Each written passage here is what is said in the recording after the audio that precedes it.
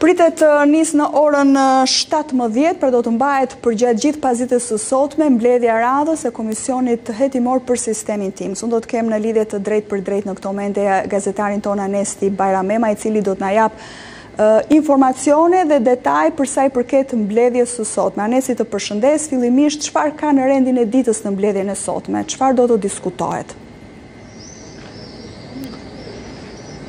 Mbledhja e sotme në Komisionin Hetimor për Sistemin TIMS pritet që të jetë një mbledhje e gjatë pasi janë parashikuar katër dëshmi për t'u marrë nga ministri i Brendshëm Taulant Balla në orën 17, më tej është Besnik Dervishi, komisioner për të drejtën e informimit në orën 18, në orën 19 pritet që të thirret Në këtë mbledhje si dëshmitar edhe Muhamed Rrumullaku, drejtori i Përgjithshëm i Policisë së Shtetit dhe në orën njëzet është kërkuar nga prokuroria që t'i jepet një leje e posaçme Ervin Muçës, ish-drejtorit të IT-së në Policinë e Shtetit, i cili është dhe personi kyç që akuzohet se ka vjedhur dhe ka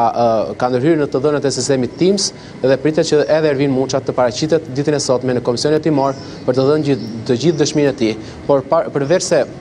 edhe pse janë katër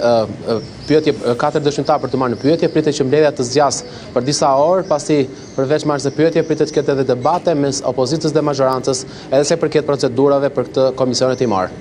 Është një mbledhje që do të jetë me dyer të hapura, Zakonisht këto këto mbledhje janë bërë me dyer të hapura deri në këto momente, por ditën e sotme pritet të ketë debate lidhur me uh, këtë çështje, pasi Taulant Balla, ministri i Brendshëm, ka kërkuar që mbledhja të bëhet me dyer të mbyllura, për shkak se sipas tij do të ketë disa informacione të klasifikuara që do ndajë me deputetët, ndaj dhe ka kërkuar që prania e mediave dhe informacionet që do të do të dëgjohen në këtë mbledhje të mos bëhen publike, pasi janë një sekret hetimor dhe duhet që të gjithë personat që të kenë dijeni për këto informacione të jenë persona me certifikatë sigurie të nivelit të lartë ku duhet të marrin të gjithë informacionin e klasifikuar. Kështu që vendimi nuk është marrë ende nëse do të jetë e hapur për mediat apo jo, Anesti.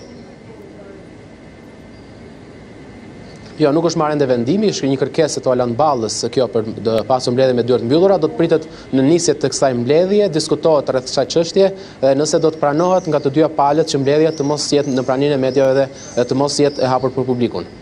Ndërkaq, të rikujtojmë pak se çfarë ka ndodhur deri më tani. Kjo është e disata mbledhje e Komisionit Hetimor Parlamentar për sistemin TIMS. Ku janë përqendruar deri tani diskutimet? është bërë gati dy muaj që nga ngritja e këtij komisioni hetimor. Deri në këto momente palët kanë arritur dakordësi për një plan hetimor të përbashkët dhe për një kalendar për thirrjen e dëshmitarëve. Ditën e sotme do të jenë katër dëshmitarët e parë, por në ditën në vijim do të kenë edhe dëshmitarë të tjerë si Ardi Veliu, kryetari i agjenci, ish-kryetari i agjencisë së mbikëqyrjes policore, por edhe zyrtarë të tjerë të policisë së shtetit që do të merren në pyetje.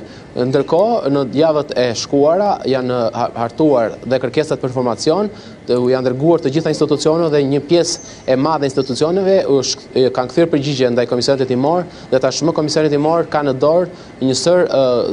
një sërë informacionesh të rëndësishme sa i përket rrjedhjes së të dhënave të sistemit TIMS, ku Policia e Shtetit, ndër të tjera ndër institucione kryesore, ka pranuar se ka pas ndërhyrje në sistemin TIMS, por ende nuk është dhënë një përgjigje përfundimtare se kush ka se kush është personi përgjegjës për këtë ndërhyrje në sistemin TIMS dhe cilat kanë qenë motivet që kanë bërë që të merren dhe të futen në sistemin TIMS persona të paautorizuar. Kujtojmë Anesti që kur u përmend emri i Taulant Ballës që të thirret si dëshmitar ka patur një sërë diskutimesh, kryesisht nga ana e mazhorancës të cilët nuk e kanë quajtur e kanë quajtur të pavend pra edhe prezencën e ministrit të Brendshëm Taulant Balla. Si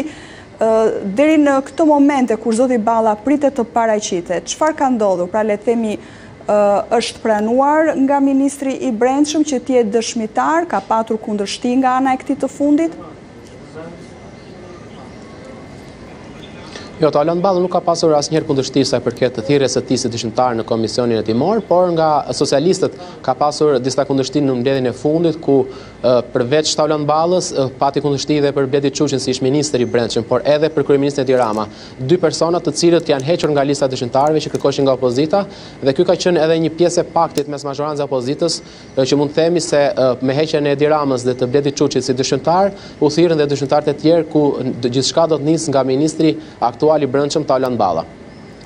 E qartë.